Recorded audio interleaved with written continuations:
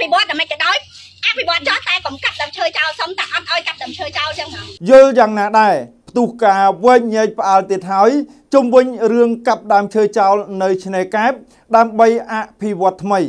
សិប្បកម្មសាប៊ូសេដ្ឋីធីថ្មីថ្មីនេះរូបភាពមុននិងក្រោយនៃការកាប់ដើមឈើនៅតាមបណ្ដោយឆ្នេរកែបដែលធ្លាប់ជាទីកន្លែងសម្រាប់ភ្ញៀវទេសចរជ្រកម្លប់បានคล้ายជាប្រធានបទបង្កការវែកញែកឡើងចម្រុងចម្រាស់ផ្អើលពេញបណ្ដាញសង្គមទៀតហើយបើតាមប្រភពចែករំលែកបានបញ្ជាក់ឲ្យដឹងថាការកាប់ដើមឈើដែលភាគច្រើនជាប្រភេទដើមឆាតដែលមានអាយុកាលច្រើនឆ្នាំទាំងនោះគឺដើម្បីធ្វើការអភិវឌ្ឍកែលម្អរៀបកាឡាឡាថ្មី និងដាំដើមលម៉ើជំនួសវិញទោះយ៉ាងណាពលរដ្ឋជាច្រើនជាពិសេសអ្នកដែលធ្លាប់ទៅលេងឆ្នេរកែបបានសម្ដែងការសោកស្ដាយដោយបានលើកឡើងថាចប់ហើយកែបយើងឥឡូវអត់មានដើមកប៉ាងជ្រកទៀតទេក្តៅណាស់បង កាប់ចោលចឹងបើទុកគ្រាន់បានមលុបជ្រកខ្លះរីឯអ្នកខ្លះទៀតក៏បានរិះគន់ក្នុងន័យចំអកថាកាយផ្លូវដាក់លូកាប់ដើមឈើដាំកូនឈើបើមិនធ្វើវាអត់អីធ្វើ តែទន្ទឹមនឹងមានការមតិរិះគន់ក៏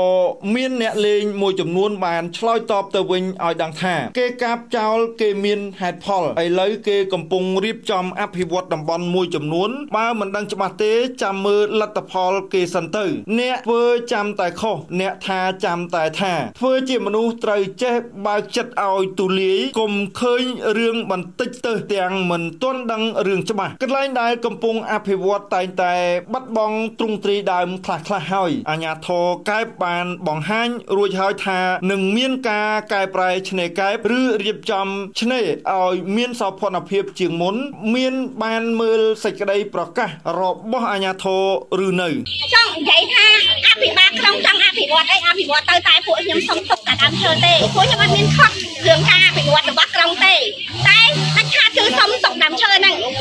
ព្រោះដើមឈើនេះវាមានម្លប់ហើយបើឥឡូវខ្លួ នខ្ញុំទាំងអស់កុំយកលេខដើមឈើនឹងយកមកមកធ្វើឲ្យរៀងផ្ទះដល់ការគីទៀតឈើតែខ្ញុំសំខាន់មានតែដើមឈើដើមឈើគឺសំខាន់ណាស់ជីវិតមនុស្សហើយជីវិតដើមឈើដើមឈើដល់ដល់ឆ្នាំហើយខ្ញុំចង់និយាយថាខ្ញុំមិនតែខ្ញុំក៏ប៉ុន្តែយកលេខកុំយកកុំយកលេខប៉ុណ្្នឹងយកមកមកធ្វើឲ្យធ្វើការរៀបការការដើមឈើគេមិនដើមឈើគេដើមឈើថ្មីវិញឲ្យគេមិនអត់ទេដើមលម៉ៅអត់មានម្លប់ទេខ្ញុំចង់និយាយថាដើមលម៉ៅអត់មានម្លប់ទេអត់មានមកកាប់ប្រចាំទេប្រជាពលរដ្ឋទាំងអស់គ្នា ទេឥឡូវសួរតែភ្ញៀវអាលោកទៅលោកទៅលោកទៅកាត់ណាស់ថាគេកាត់តែថាចោលកាត់ខាងតែអត់សិប្បកម្មសាប៊ូសេដ្ឋីធី មានផលិតសាប៊ូបោកក្អៅសាប៊ូលាងចានសាប៊ូជូតអិតដោះបង្គន់សាប៊ូបោកក្អៅម្សៅនិងទឹកក្រអូប ដែលមានគុណភាពល្អនិងតម្លៃសមរម្យគ្រប់គ្រងផលិតផលខ្មែរជួយឲ្យប្រជាពលរដ្ឋមានការងារធ្វើ Facebook Page កូន ខ្មែរសាប៊ូខ្មែរ